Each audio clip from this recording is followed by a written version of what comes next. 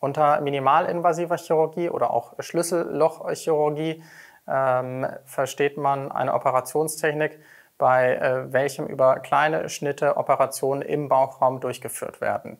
Ein großer Bauchschnitt lässt sich hierdurch häufig vermeiden.